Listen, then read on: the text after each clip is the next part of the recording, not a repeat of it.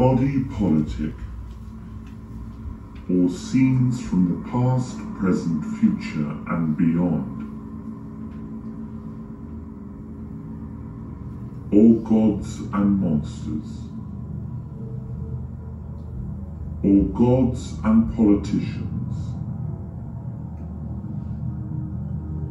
Or what do you get when you put all the world's politicians at the bottom of the ocean?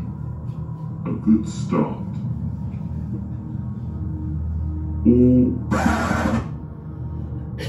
part one. Play one. The state of the nation.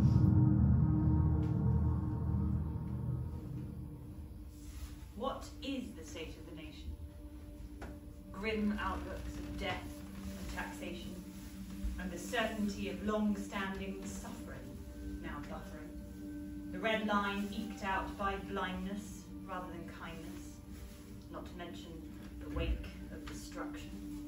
If we take a sample of just one area we share, it doesn't take Marple or Poirot to locate the sorrow in the eyes of the girls and boys without their toys, or their love, or their happiness reboxed.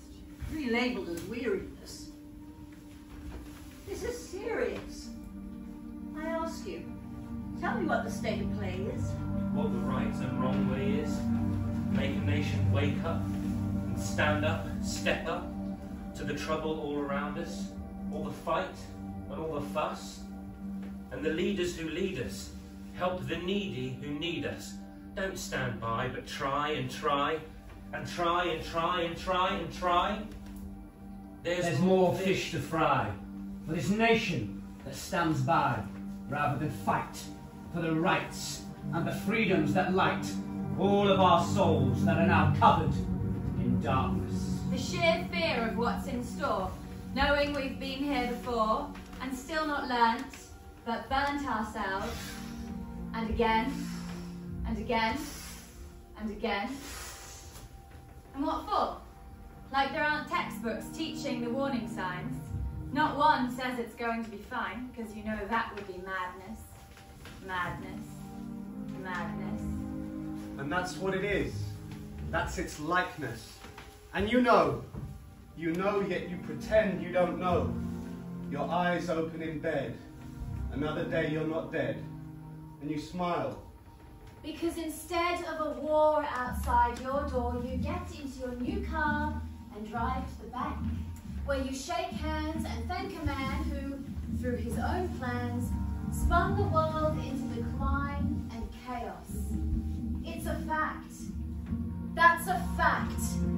It's an unquestionable fact. So compare your life. So compare your life.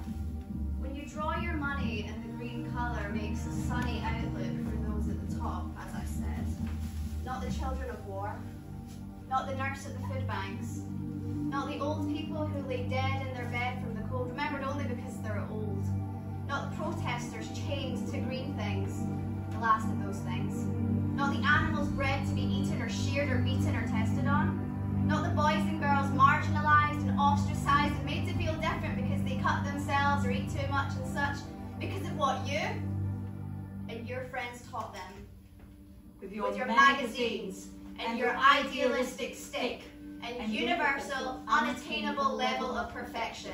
It's not perfection, it's depression and suppression. It's It's obsession. And not one person can penetrate these walls in our minds. Not to mention the real walls we're building and gilding gold.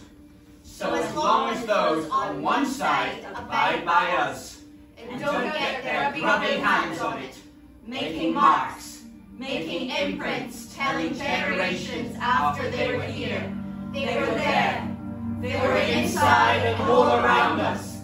They were everywhere. but we didn't care. And it's these aspects we should and must inspect. The actions and the shit of the body politic. Because what they get away with, it's born of our own creation. Our singular, collective, disrespecting, worldwide affecting creation. And that, my friends, is the motherfucking, cunting state of the nation.